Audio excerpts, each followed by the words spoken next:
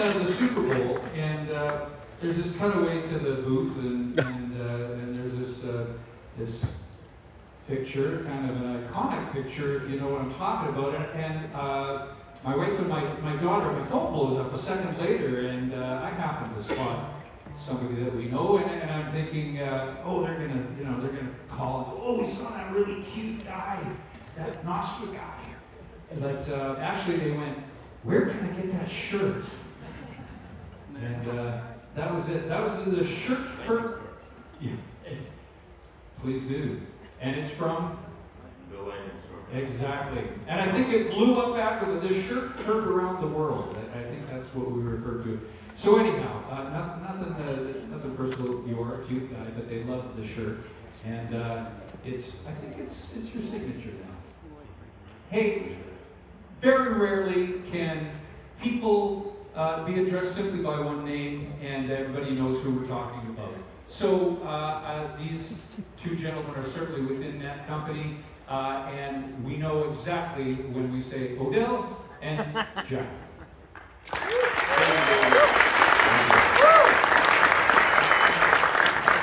Do you have any other shirts? No, Just that one. just this one. Um, I think most people in this room know this. Uh, maybe people on the live stream do not know this. Um, but Jack personally pays for these Nostr events. This is the third one uh, that a team of volunteers has has put on. Uh, first in Costa Rica, then Tokyo, now here in Latvia and Riga. Uh, it's incredibly important uh, for you and the, and the team of volunteers to try and do it as global as possible. Um, but I just can we just give Jack a huge round of applause?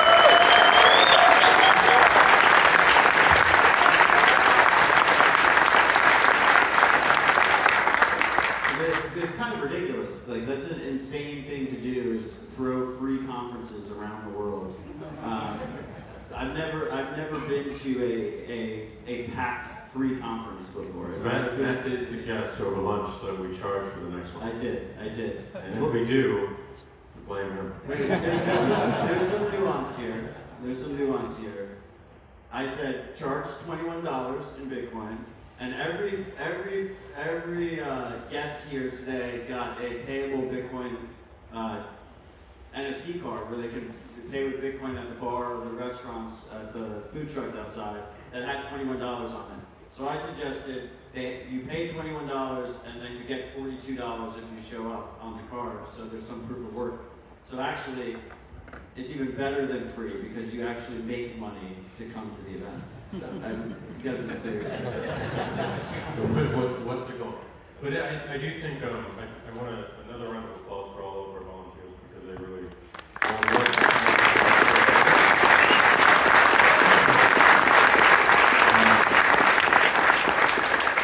Apologies in advance of getting over bronchitis, so if I, uh, I, uh, my voice is a little bit weak. Um, but I do think it's really important that, we foster this community and we foster the development through meeting in person.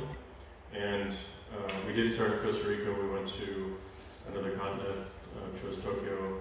Another continent chose chose Europe, and we'll continue to bounce around the world uh, every single year, and hopefully it continues to grow. But while our attendance hasn't grown a lot, um, the depth of the conversation and the presentation has, has really been impressive. And I think just getting together in person like this really accelerates what we're able to do. Um, and then I think it's complementary to a bunch of the work Matt and others are doing in terms of funding development, funding education, funding content. All these things add up, and all these parts play a significant role in compounding um, to building this this thing that we love and the thing that we know will impact so many people in a positive. Not just yet, but over time, absolutely. Love it. Um, I mean, so while we're on that topic, why do you focus so much time, energy, money on Nostr? Um, it's the only reason I'm in a position that I can even consider doing something like this is because of the grace of the open source developers on the internet. And the way that the internet was built. Um, for those of you who are old, as old as me, you remember Usenet, you remember the early days of Linux, you remember Gopher, you remember the early days of the web, you remember the principles, um, but most importantly, you remember that you could read the code. And that was incredible. And the fact that all these APIs were open, the fact that uh, Rabble brought this up, that TCP/IP, the very foundation of the internet, was considered the ugly, wrong choice, and people made it work. And every single interaction we have today in the world, every single person in the world has an interaction today where they touch that work, and they touch this concept of the bazaar model instead of the cathedral. And we have so many companies and we have so many um, organizations trying to build this cathedral model and control it and take more and more so that they can profit more and more. And we need to have an opinionated and different approach that we build in parallel. For when those things fail, which they will, we have some we have some place that people can go to. And and that's what gives me a lot of patience around what everyone is building here is because like our only goal here is just to build in parallel and to make sure that we continue to build something that when people need it, it's available. And I think that's really important that we always have those options available to us. The same is true for Bitcoin. Well, there's a lot of talk about how censorship resistance is important, and a lot of talk about censoring, and a lot of talk about um, freedom of speech and all these things, but no one has proven that they. If they actually wanted it, they'd be using it every single day. And it's a lot of, it, it's really good marketing right now. But if you actually want to see if people believe it, believe it in their soul, they're going to act and they're going to do something about it. And we're just not seeing that right now. But when they are ready, and when they were when they're forced to be ready, or when their um, mind is finally open to take another action and sacrifice the convenience they have right now and the network they have right now, that this place is ready and that Bitcoin is ready, and it's up to the task of supporting billions and billions of people. Um, so it's a long haul, and it's it's something that you know, we may not even see the entire fruits in our lifetime, I think we will. But the fact that we have this collection of people working on this and working on these ideals, thinking about the long term, and suffering through the small numbers right now, I think is really important, really unique, and uh, I don't know, I, I, I love it. I love, I love being part of this community.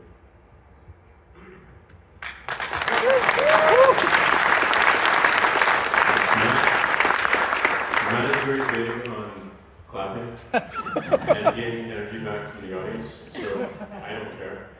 So any, after any time he stops talking, if you could just give him some energy back.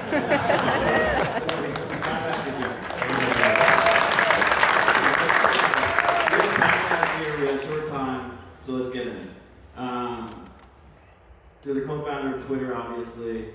Um, now it's X. Elon brought it, took it private. Now it's X. It has about a half a billion users, five million users.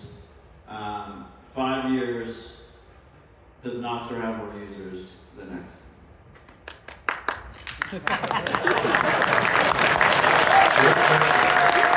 It's not about the answers, it's the questions you ask, and that's how we're judging this, this uh, conversation. Good question. It's finding the right question, right? Um, in five years, I, I, I, um, I don't know. Uh, I certainly hope so. There's no, the thing about Nostr and, and Bitcoin is there's no fundamental reason why it can't have all of the Earth's information like have the largest corpus of information. And I think we want that. I think we should push for that. There's a lot of conversation today about information overload. I think we want and we benefit from more and more information. The other side of that is we need the right ability to organize it. And that's where algorithms do come in. And if we have agency around choosing whether to use those algorithms or not being able to build them, then we have a perfect union. But There's no reason, there's nothing stopping people from just putting everything on this on this platform. And there's no reason why we shouldn't welcome it. Because if we do have the largest corpus of information, people can build really amazing things on top of it. And I think from, the, from that degree, maybe the number of users is the wrong metric. It's how much, how, how useful it is, and how useful the information is, and how much is actually, how much is actually there, what is the density? Because it's not just going to be humans utilizing this, it's not just going to be humans connecting on all this. Um, I know they're a bad word right now, but like bots are our future, and they will be a valuable part of our future if we have agency over them, if we can help control them, if we can choose to use them or not, and they're transparent. And there's no better platform to start working with agentic AI and, and bots than Nostr because of the openness, because of the transparency, because the, you don't have to ask for permission for anything. So we have a playground that these new systems can actually intersect on, and I think we should embrace that. And we, we should, our strongest, our strongest message right now, and this was said by, um, I don't know what presentation it was, but there was a slide with a number of developers, Bluesky and Twitter. Who's that? Was that Pablo? Pablo and Pablo. Bruno. Um, That's our strongest message right now is, is the strength and the size of our developer network. And that is unbounded in terms of growth. Um, and that metric, I think, is unique and, and super important. We're gonna have more users than, than X in five years. Very long-winded non-answer. I think, I think you believe it, I think you just feel a little bit pigeonholed. No, no, no, like, I'm just being realistic. I, don't- I, like, I, sure, X is cutting down on, on bots and, and all these things. I don't think we're, we don't have that constraint because we don't have that problem. And I, I think we should embrace that. So along that metric, um, having more programs and having more automations and having more experiments. Rob will remember this. This was this is what made Twitter super weird and super interesting back in the day. Is people were hooking real things to it, and devices and bots and Tamagotchis and all these things. And it was fun because it, it, it was like humans you could talk to, but also like things that were like suddenly had motion and were, were alive. And that was so early. This was over 18 years ago. But all that technology behind all that stuff right now, with everything we're seeing with AI and agentic systems, is really mature now. It's actually useful. It's actually useful, and it's providing real value. And I think it's a big, big part of, of our future. So if, if Nostr can be one of those those protocols and those playgrounds, like there's there's no question that we have more. But how are you measuring that? Okay, so you, you're, you're saying that you expect Nostr to be more useful than X in five years? I would, I would say it's already more usable because um, people don't have to ask permission to change it, so they can make it usable for themselves, they can make it usable for people like them. And, um, and as you saw with the Ditto presentation from Alex, people can come to it and build their own custom viewport and their own custom experience that fits them. And everything they do in that small little world benefits the entire world and the entire protocol of, of Nostr. And it ends up benefiting everyone.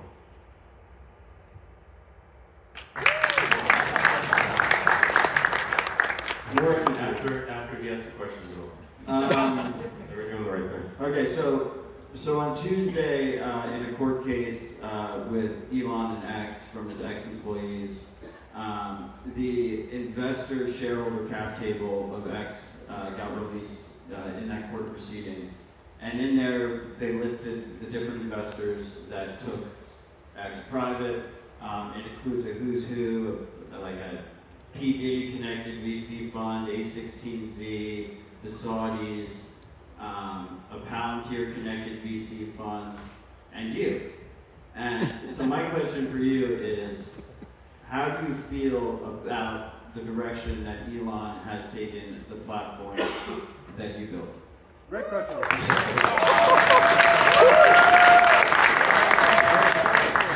I think that was actually sincere applause here.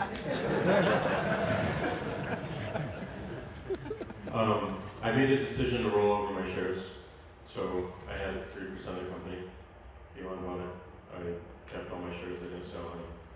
I after this, this giant payday, um, as the company was sold.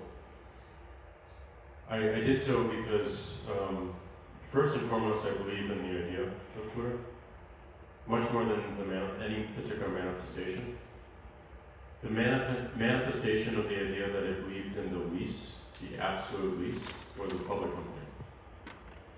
We were a public company that was reliant upon one business model solely, in a singular fashion, and that was the advertising model.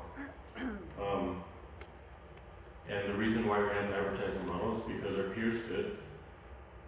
We wanted to go public, and that was the fastest path to do so. And there was no ability to send value across the internet. There was no micropayments on the internet, as Jack talked about. We've actually been talking about it for 40 years, if not more.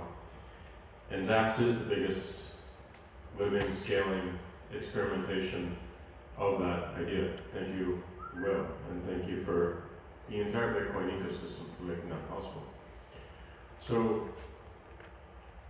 taking it private, I'm so grateful that someone was able to do that. I'm so grateful that um, it was taken private by an entrepreneur and a technologist instead of a private equity firm. It would be dead at this point. It would be dead if it was still a public company. Because there's no hope of competing with um, the likes of Facebook and Google. And it allows the space to do some experimentation and do a lot of different things. And Elon is testing that. I don't always agree with the methods um, or the sequence. Um, the reaction to perceived threats, which I don't see as threats at all. Um, but I appreciate that it's covered and protected and they can experiment. The biggest disagreement I have with the way it's run and the potential for it in the future is before I left, we, you know, we wanted to build a protocol. Right now, Twitter owns the protocol, it owns the presentation layer, and it owns the distribution. All three. It puts a ton of pressure for whoever's running that company to make decisions around what's on the, on the service and what's not. Having a protocol where the content um, lives and you can separate those other layers takes away much of the liability. Still allows you to build a really amazing business on top of it. And it'd be my hope that Elon and the company recognize this and they recognize the single point of failure that they're, they're in. It doesn't matter who is the CEO of that company, no matter how much you love them or hate them. Um, they're in a place where they have a, a choke point. And that choke point can be their business model. It can be the relationship with their other businesses. It can be countries threatening to raid the offices of their employees or put them in jail, which we had when I was CEO of Twitter many, many times in countries all over the all around the world. and it's not sustainable. You can't build a company that means to serve as uh, a town square, a public town square, um, without having something underneath it that no single entity owns. And that's what Nostr represents to me, is that you, you can remove some of that liability and you can get back to the idea of what Twitter was meant to be and what it, what it ultimately is by providing a much stronger foundation that no single person, no, no government, no company owns or can, can remove. And that's what this, this is all about to me, um, is giving options to a company like Twitter so that they can take that option. I'm not saying that they will, um, but the fact that it's an option is, is really important. Um, I, I don't know, I, I'm, I'm conflicted. Um, I really love Twitter. I, um, I love building it. I still love it. I think the algorithm has taken over too much. Um, I, uh, everything I don't love about it, I see alternatives in Nostr that I do love. And it's not me saying like, we should do this, we should do this, we should do this. People just come to their own conclusions. I'm like, yeah, that's awesome. That's awesome that someone's thinking about that and they're doing it and no one's telling them to do it. They just want it and they want to build it. And um, they don't have to ask for any permission. As a CEO of another company, like people have to ask permission from me all the time to get money and to um, to fund their, their projects and to get budget and whatnot, and to be able to take myself out of that equation and instead um, take the benefit I've had from building something like Twitter and Square and Block and giving it to organizations like, like Matt to make those decisions in a rigorous way with a board of nine people, which I'm told is extremely important that, that particular size, and other organizations. Um, and for them to make those funding decisions about ideas that, that we should have in these experiences and the, in these protocols and these platforms is pretty amazing to see. Um, and so, while I'm upset about various things in Twitter, I love that the ideal, ID, idea, idea persists, and that it's even being made stronger and stronger and stronger every day in, in, in the work that we're talking about over these past two days. So, keep clapping for your question, because I think the next one's going to be a banger. I I, I, used to love Twitter too, but I think Nostr fixes this. Yeah, I, I do. I, I, I also, I, I agree. Um, That was and, and I, and I, no, I respect that you are able to delete your account and that you did. It's a big step to walk away from an audience. It's a big step to take away the convenience, and it's a big step to go the opposite direction of the momentum.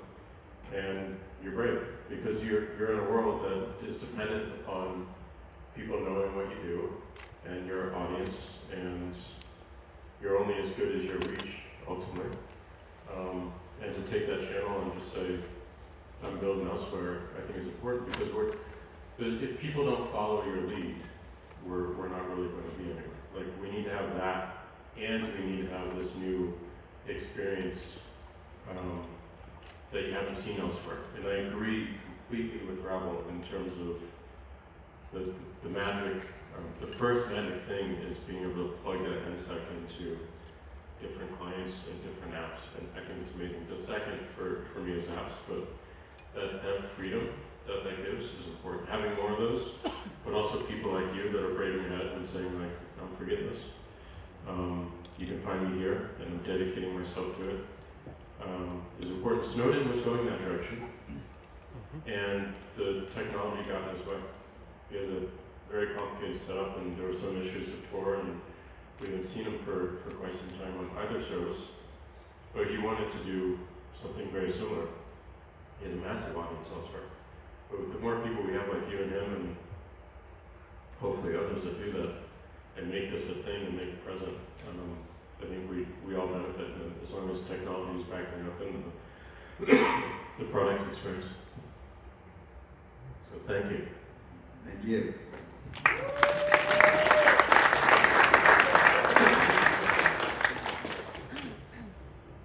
So let's go in a little bit more there. Um, do you have an opinion on Elon's decision to do mass identity verification on X's half a billion users?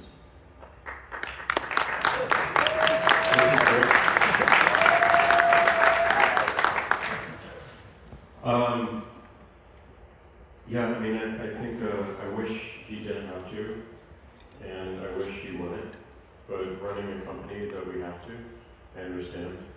Um, you know, we're, we're running a payments company, it's a public company, and, uh, we have a lot of, um, regulation around us and a lot of requirements, as was talked about in some other presentations. Um, we can't be a full Bitcoin company. No company can be a full Bitcoin company because as soon as you intersect US law or any other law, um, you make compromises. So um, you have to keep in mind that Elon's stated goal is for X to be the everything app. and part of the Everything app is moving money. And I don't know what the plans are and how they move that money, um, but they're certainly getting money transfer to licensees, and that requires KYC. Yeah, but that's not, I mean, his, his explanation for why he's doing it is to combat bots and spam, and there are other ways you can do that Yeah. that don't require identity verification. We've had a couple panels today that have discussed ways that Nostr clients can do that through proof of work or through micropayments with Bitcoin. Yeah. Um, There are, there are other ways, um, but it's a question of like convenience for the individual. And again, the reality is, people might say they care, but they don't care. They don't, and they'd rather go the convenient path and just get the blue check and and go and get the bigger audience or remove the ads. Um, and it's not important to them right now. And hopefully, it becomes important through more understanding, or hopefully not through a, a crisis that they have in terms of like losing some of their identity or, or being doxxed or whatnot. But it's not important. If it was important, people would care about it and would demand it, from, and the market would provide a different solution. But that's not the case. I mean, the concern is. You got, you I see. We'd appreciate it. We'll talk. Um, the concern is when you see the increasing attacks on speech around the world, we see a country like the UK right now, right? Where they are targeting people who are retweeting tweets, who are liking the wrong tweet, that are posting the wrong comment on Facebook, and they're throwing them in jail. And then you couple that with widespread identity verification on social media users, and then all of a sudden you have these governments that are going to use that information to then target people that say things they don't want to say. And unfortunately, the reality is most people learn this the hard way. As you said, they choose convenience first. Um, but it, it will be people being thrown in jail, people having their lives ruined uh, before they real, realize the danger of this mass identity verification. A hundred percent, but it's not just, it's not just that. And I agree, I would rather not link any identity to, you know, quote unquote dangerous political speech. But an activist today who's questioning their government, choosing between X and choosing Nostr, the risks are effectively the same Why? in, in terms of privacy. We're very leaky with IP addresses. There are ways to go around this, but the average activist doesn't know how to use those tools effectively. Yeah, I mean, I think the IP address concern is a real concern. Um, that's just a general internet concern. Obviously, you are leaking your IP address to Twitter or Facebook or anything else you use. Um, but, but you're not you're not leaking it externally. You can use VPNs, you can use Tor. We're gonna have clients that provide different types of services to try and mitigate that kind of exposure to users, and we're not quite there yet. So I do agree with you. and if that audience is truly important to us, then we need to build those tools into the, the stack as much as we can, right? hundred percent, hundred percent. I mean, it's the same way I view Bit- Bitcoin. If you can, if an activist in an authoritarian country can't safely use it in an easy way, uh, we completely failed. Like the mission, the movement, it's it's complete failure. There's a percent of a percent of a percent of a percent of a percent is who's going to go through the same setup that someone like Snowden goes through to protect, truly protect their identity. And if we can build that into these stacks, and again, play towards the convenience and the mo- momentum that people naturally drive towards because they need to get something out, then we win for that audience. But, but right now, there is an equivalence. I, I know it doesn't feel that way, but like the fact is the tools are pretty scarce and they're pretty dangerous for this, this, uh, this use case that we, we care so much about. So I have one last question for you, because we're up on time.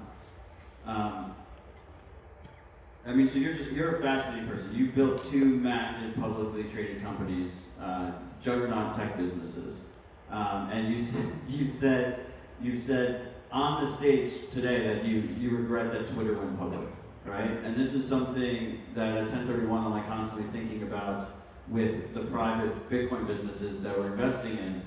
Do you think there's ever a reason for a company to go public, or should just no one, no one go to public markets, just stay in private markets?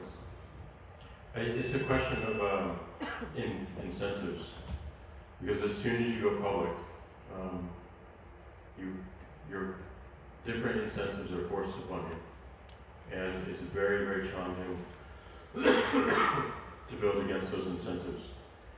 And um, I don't know, like it, it's a question of it's a question of I, I don't think companies are inherently evil, but it's very easy for them to go that direction.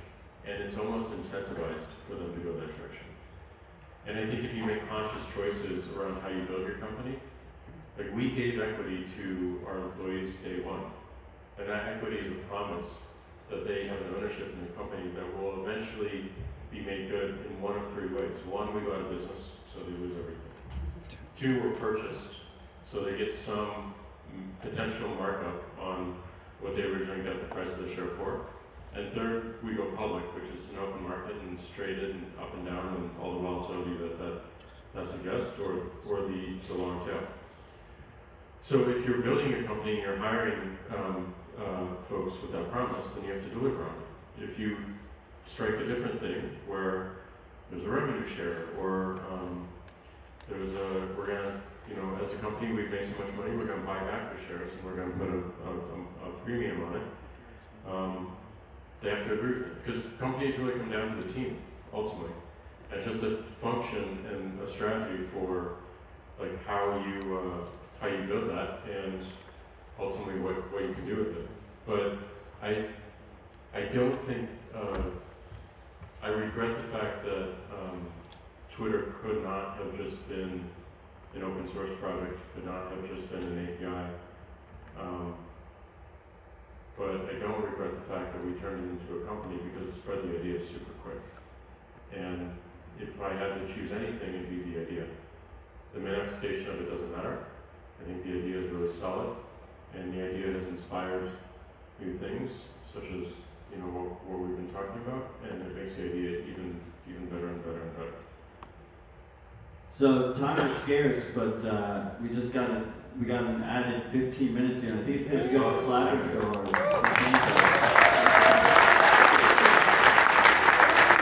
So you started this work with an open protocol. Obviously, I think that is Nostr. Um, It is. before you, before you uh, left leadership at Twitter, because now we know you are continuing, you still own the same amount. Um, so nothing really changed there. Um, you launched this initiative, Bluesky, um, which, from my perspective, was an unmitigated disaster. Uh, do you have any insight into what went wrong there? Um,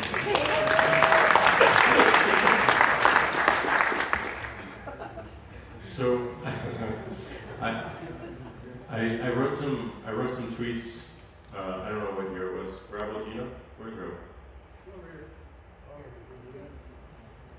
So when, I'm over here. hey Rabble, Yes. Hey, what's up? So Rabble was my boss for a long time. yeah. Um, do you know when, uh, we announced like, uh, the initiative to build the protocol? I think it was 2020 or 2021. It was maybe 2019. I think the first time I sat down and said, "Hey, let's do a protocol," was 2018, and you were like, "Oh, so I'll invest." And then some Twitter person, like lawyer, was like, "Oh no, you can't invest personally, and Twitter can't invest in this either." And then it took a couple of years until you figured out how to do it. Yeah. In a lot of pain, by the way. Um, but we, we did it, we committed to it, and we, we launched this thing, and then uh, we had a small team who were talking with this uh, growing community. And actually, someone named fiatjaf actually came by and had conversations with us. Not physically came by, but, but talked with the group. Rabble, a bunch of others. And the, the team, you know, eventually uh, came uh, upon the, the ultimate lead of, of what became Bluesky, which was uh, Jay. and um, at that time, I was also, uh, uh, well, we had an activist come into our stock, and the, that time, when the activists came in, is when I committed to leaving the company. It took me about a year. Um, but that year was up, and as I was leaving the company, uh, we were hiring Jay, and she was launching Bluesky, and then suddenly Elon expressed interest to buy the company, and that actually went through after a lot of back and forth, which really, really depressed me, and I thought was terrible, um, and, and really hurt the company, and I think set up Elon for some some negative outcomes early on. Um, and uh, and then um, Jay uh, got pretty nervous about funding existing. We gave we gave them 14 million, and funding continuing to exist um, after Elon's purchase. And uh, she started to raise money from other VCs, and that and the fact that it had a board and the way it was being developed, as, as talked about earlier, um, and finding uh, um, markdown file on GitHub where he diagnosed every single problem Twitter had and an actual solution that, that kind of works, and the humility in releasing that, and the number of people that were coming to me saying you should look at Nostr, and then um, uh, tweeting about it, and downloading demos, and talking with Will, and again, like the moment for me was taking my NSEC was, which was kind of mixed between NSEC and the hex fields at that point, um, and moving it to another client on the web was like, wow, like this, this is it. Like it's super janky right now, but there's something, there's something here, and the people are amazing. And uh, the next day, I realized like fundamentally Bluesky is the wrong direction um, in terms of the way that this has been built, and that um, I should do whatever it takes to help Nostr. And I reached out to fiatjaf and, and Will, and I said, like, do you have a foundation I can donate to? I'm donating money to these internet um, nonprofits, and uh, they both said, oh no. Um, so we figured out other ways to do that, and uh, and that started the Nostr Development Fund.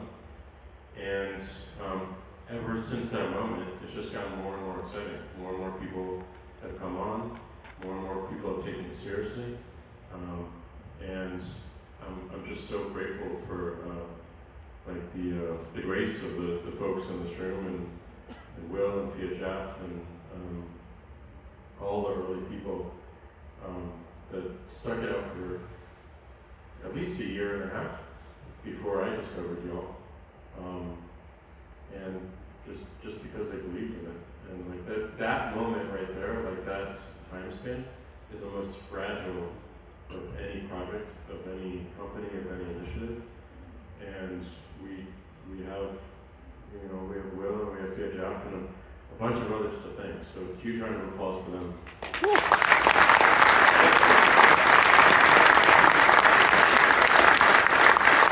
And Matt, Matt actually had a podcast with Will early on.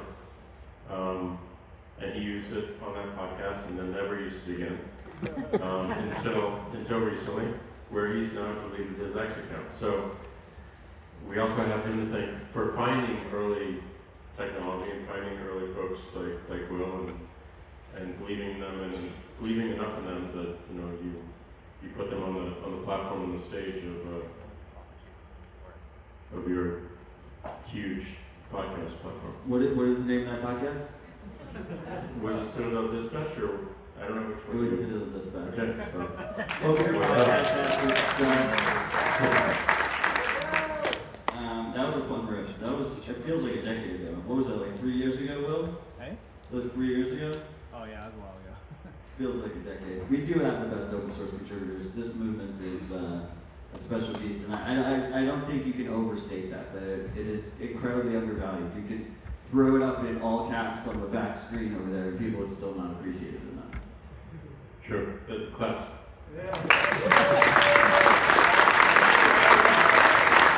Um, so, I mean, one of the coolest parts about Nostr to me is this idea of, of being able to move between apps without permission, right? We have this massive ecosystem of, of hyper-focused apps that do different things. You know, we have um, apps that do events. We have apps that are that are based on on streaming videos. We have we have clients that look like an Instagram or clients that look like Reddit. Um, I think OpenSats alone is now funding over 30 Nostr clients, and you can just easily move um, that private key, that, that, that NSEC that is generated when you first launch Nostr in any Nostr app, you can easily move it to any other client. So it's, it's like ultimate, first of all, it's ultimate in terms of interoperability of being able to move around with your social graph and have all your followers and have everyone that, that you want to communicate and interact with move with you between apps, but it's also the ultimate check on, on, on, on corruption or, or, or apps doing things that users don't want or that are predatory against users. It's like a core foundational element of Nostr, right? Um, the, the, the difficulty there, right, is so like we might have a lot of people watching this live stream right now that have never used Nostr before. And I, I find myself in this situation a lot, uh, where it's, it's how do you, how do you recommend to a new user where to start on Nostr? Um, with, with, without, you know, going into all the nuance of, you know, I, I, I don't know how to phrase this question. Basically, instead of like listing 30 apps and be like, you could use all of these clients, how do you do it? Like, do you just tell people to like Google Nostr? Do you tell them to go to nostr.com or nostr.org? Like, how do you handle that situation? I start, I start sending them uh, links. I start sending them posts. Because I, I think the, the thing that's going to drive people to it is who's on it and the, the content and what they can find ultimately. So whatever client I'm on, um, there's a share sheet and it goes to iMessage or um, Signal and um, that, that to me has been the, the stickiest way to get people in. Um, I think, uh, you know, Primal did a really good job of making people feel the importance of it through the, the Bitcoin wallet built in, and being able to buy Bitcoin and receive zaps. Like the, the thing that really made Twitter click for people early on was the fact that like it was SMS based and it would actually buzz your pocket and your, your, your pocket would like vibrate. Like it felt really, really tangible. Like you could feel the network. And Zaps is another amazing way to feel the network. The fact that you're getting value, however it's denominated or ex- explained to you. Um, I just signed someone up who, this guy Tony Shafrazi, and um, check out check out my recent notes because this guy is a legend. This guy was the one of the, one of the people that found uh, Basquiat, the artist. Um, defaced a number of really important paintings as a, as a statement, as an artistic statement. And this guy just knows everyone. He's, he's just got such an interesting mind. Um, and him posting, and then me reposting him and introducing him, and him getting zaps because I signed him up for the wallet right away. You're just like, hmm, I'm. I'm gonna look at this again. And I, I think that someone said this in an earlier presentation, but it's very easy to get people to try it, and it's very hard to get. I think it was you, Paul. Um, very hard to get them to stay and to come back to it. Um, but the only thing that gets people coming back is like the content ultimately. And right now, when you sign up with uh, with Primal, for instance, I'm gonna, pick on you guys. Um, uh, the experience is, oh, I, I have. Um, why am I following 134 people? Who are these people? And they actually puts them in this defensive position of like, why am I following these people? And how do I unfollow them? And what the hell are they talking about? And to Rabble's point, they're all talking about Bitcoin. and now they're just like doubly insulted and never gonna open the app, but, you know, never open the app again unless like you send them posts um, through other channels. So the onboarding experience and how people get in is really, really critical and really important. And none of the clients have really figured out. Um, but it's not that far off. Like it's really not that far off, and I think we see line of sight to it. Um, but it's it's work, and people will reintroduce them, themselves to services like this, but only so much. Um, and we have to, you know, just be really hyper aware of like they're only going to try this maybe twice. And if we miss them on the first time and we miss them on the second time, we're probably gonna miss them out completely. And that's the power of the, you know, the social app protocol that Robert was talking about, or this ecosystem of apps, is that you may not get them for the Twitter club. You might get them for another app experience. And they're still using Nostr. And if they're using Nostr for any one of those social social apps, then the whole network benefits, including the Twitter club. That's magic. Like you don't see that anywhere else. Like the power of an ecosystem is every part positively reinforces other parts, even if they're completely different use cases and completely disconnected. Um, and like if you were to talk about everything app, it's it's amazing. We've seen proof of it in China and in other places, but to actually have an everything ecosystem where you have thousands and thousands of apps that are not controlled by an Apple or a Google, um, that people control themselves and they can control their data and bring their data and their identity anywhere, and they can even kick it off and, re- and remove it. That's powerful, and it will be something that people want over time. But what they want right now is utility. They want immediate realization of value. And we're not going to get it by just competing with the use case of, of Twitter.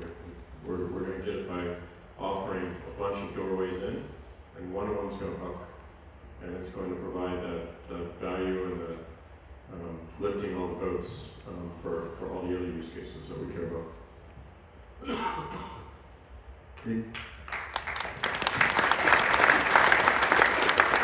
We'll just keep that in time. Um, We have another panel, right, about the whole conference? Yes.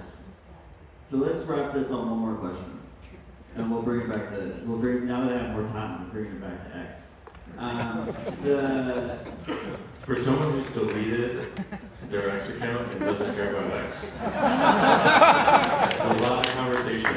you're the co-founder, I have you on stage. Um, we have a I'm a co-founder of Twitter. It's, you still have the same percentage. Yes.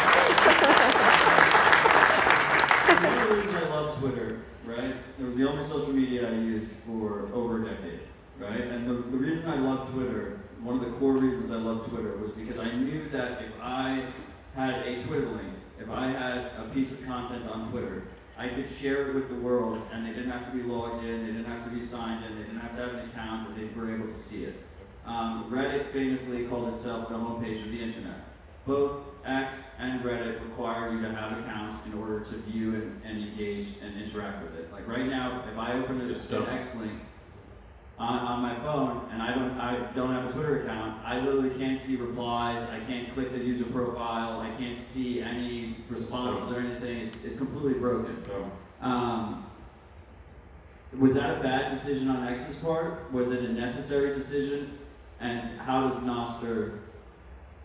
It, it, that's an edge for Nostr. you have to answer that question in context of what, where it's being asked. Like, the context of X right now is a business that to make money. And their, their money right now is either selling a premium account or advertising, and logging in is important to them. Um, for, for Nostr, a good, one of the beauties, beauties of, of Twitter in the early days was that I could text from my phone to our short code 40404, and it would create a permalink web page that anyone could see immediately, and then the conversation would build. So it was literally the fastest way to reach the world. And I think that's what grew it. It's because I know it doesn't matter what device I put this into, it's going to something that every single person in the, in the world can read immediately. And without an account and without logging in. And I think that that's what made the public conversation the public conversation. And that's what made Twitter, in my view, a news app. Like when when I was CEO, we pulled Twitter out of the social network category in the App Store, where we were 20, and we put it in the news category in the App Store, where we were number one. and we did that globally because it's news. It's literally new, new, new, new, new, new. And that, that speed is, is really important. And it's speed of the access of information, it's speed of the interface, And if we want any hope in competing with that use case, we need that, we need that speed. We have it, like, I, in terms of like a technology that it can put something out, where I know it's going to be up, and I know it's going to be readable by every single person in the world in a format that they can consume. To me, to me, that the, the best answer right now is Nostr. It is. Um, because everyone can read it, you know, and, there, and the consumption side of it is extremely, extremely critical and important. Um, we have some issues with the URLs we produce and and how things are cached and how you know the, the page is constructed, and it's a little bit slow. But if we focus on that and be, become the permanently for all conversation uh, in the world, which I think we can, um, you know, it, it's it, it's something that people turn their heads to more and more because like there's it's not it's now not just the fastest way to put something out, it's the most durable and resilient place to put something out because no one can take it down except for me, my the author, and right now you can't even do that. but the but the fact that a government can't do it, a company can't do it, it's a it's the fastest place, it's the most stable place, the most resilient place, and the most durable place, and, and those are some pretty powerful attributes.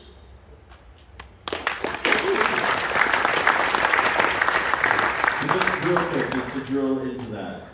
Um, you, these walled gardens that are popping up all throughout the centralized internet are obviously bad for users. It's a worse user experience. The, the argument that's being made by leadership, at least internally and sometimes externally for publicly facing companies, is that it's going to be better for business, that they want to control their product, and the users are their product, so they don't want that content out there. Do you think it's actually a good business decision? It depends on the business model.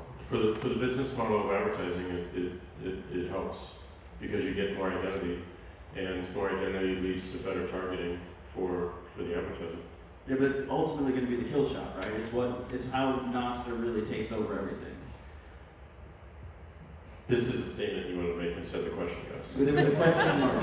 Yes, yeah, I, I'm, I'm a believer in protocols over, over platforms, obviously. Um, I believe that companies can benefit from protocols. I'm building a company that benefits massively from protocol, and that protocol is Bitcoin. and recognizing that and being able to contribute back to it, and recognizing the fact that, like, you truly love, it's the only thing that levels the playing field for us inclusive of like all those open protocols that the internet has provided. And I hope all the open source and open protocols that AI will provide us in the future instead of like having five CEOs make all decisions around these models. Um, you know, we, I can build a fantastic business on top of that, and others can as well. And it doesn't favor our business versus other businesses. So I, I think open is always the way to go, but like I understand that businesses will have will have different decisions based on like what their what their model is around. Fair enough. I think it's a shit business decision, though. Um, I guess we'll find out. Uh, do you have any final thoughts for everyone before we wrap? Um, thank you. I mean, it, it takes a lot of time, and it takes it takes a lot of time. One, to even consider this concept, um, to come all the way out here. Some some of you away from your families and your friends for these few days uh, for a conference that, uh, while free, like we're not, no one's paying you to be here, and you're sacrificing a, a lot. Um, even if it's not a lot, it's meaningful. And the fact that we show up for something like this, I, I think says everything. The fact that we can have this conference, um, and that we can have this gathering, and that we have tons of amazing conversations, says it all about the future of this, this work. Like people are willing to sacrifice real tangible things to make this make this matter. And uh, and that, that means a lot. It, it means a lot to everyone here. It means a lot to to me that these things are uh, appreciated and that we should continue doing them. I think that's what the new panel is about. We always have this, uh, should we continue doing this? Like, should we do it every year? Where should we do it next?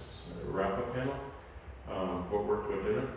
But generally, I think it's working, and um, I think we'll only benefit um, these permissionless tools, and I, I hope it inspires more conferences like this for different use cases and different permissionless tools that, that we all know we need.